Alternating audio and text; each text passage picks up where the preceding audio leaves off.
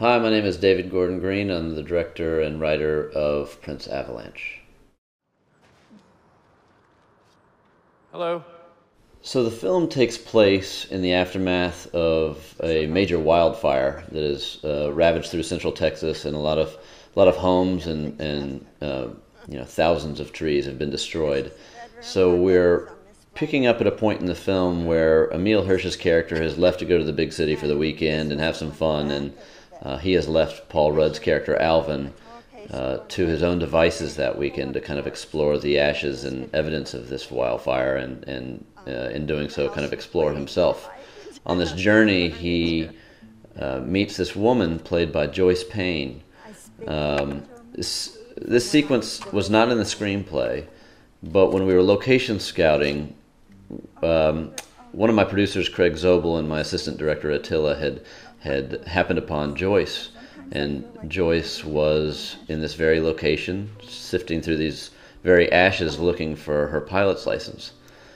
They called me immediately after meeting her and, and telling me her extraordinary story and her very unique voice, and um, I became really excited about the prospect of, of integrating her into the film.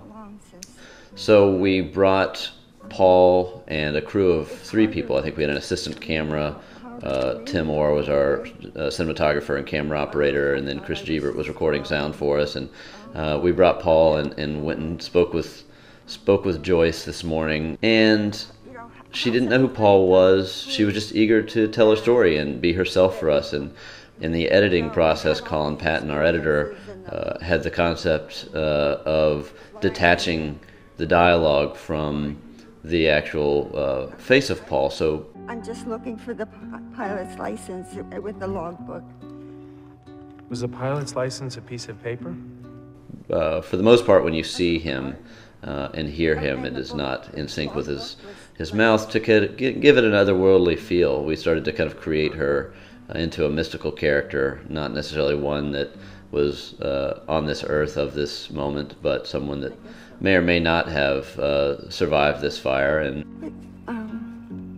you never know when miracles happen. You could find it. I Wanted to kind of create a mythical presence to her. To you. You too.